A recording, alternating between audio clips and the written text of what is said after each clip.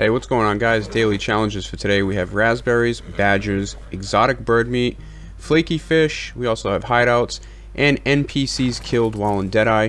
You're going to be able to go to the same area slash location to get all these done. At the end of the video, I will go ahead and open up that treasure chest.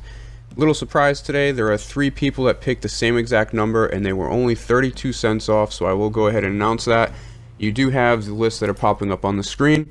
We're going to go ahead and start out with raspberries first, which we did have the other day. So here are all the locations in the Blackwater, Great Plains area where you can go ahead and get your raspberries. Next thing we're going to go ahead and talk about are badgers. You can also find badgers in this same rough area. And I'm going to show you a couple locations where I got my badgers. So you can see the icon right next to my highlight there where I ended up finding my first badger, kind of where there are some raspberries. And then over in the center part of Great Plains, you can also find some badgers. Technically, you can find some badgers down at Quakers Cove as well, which is a place that we're going to go ahead and visit pretty soon.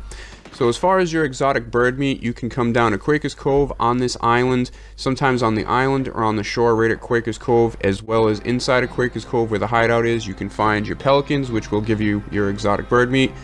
Over on the west coast of Rhodes near Braithwaite Manor, you can find them, and also on the east coast in those locations, you can also find your pelicans for your exotic bird meat. Now, if you're looking for flaky fish right here at Quakers Cove, you can go ahead and cast your line in, catch some regular fish like perch, rock bass, I think even possibly pickerel. Just go into your satchel, break them down, and you will get your flaky meat. Now, if you're looking for herbs to go ahead and craft, if you don't have any, at these locations right here near Quakers Cove, you can find oregano, and mint so you can go ahead and use those to craft you know your uh, exotic bird and flaky fish. Now there are also about five hideouts located kind of in this area where uh, you get all the other things and here are some other locations where you can find your hideouts as well as well as the previous clip so if you need to go ahead and pause those and look.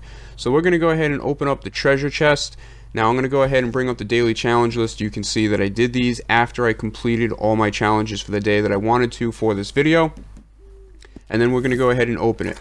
Now I think what I'm going to start doing is in addition to you guys guessing how much cash I get from the treasure chest, I think you guys are going to have to start guessing how much gold nuggets I'm going to get kind of as a tiebreaker because I was planning on giving out two gift cards. Now I'm giving out three today. The other day I was planning on giving out one and I gave out two because it was a tie. So the amount that we are going to get is, and it'll pop up on the screen in a second, $103.32. We had Sean Ryan, Nacho Vidal, and OG Loke Baby, who all picked 103. There were a lot of other people that were close. We had some guesses of 104, 106, 101, 102.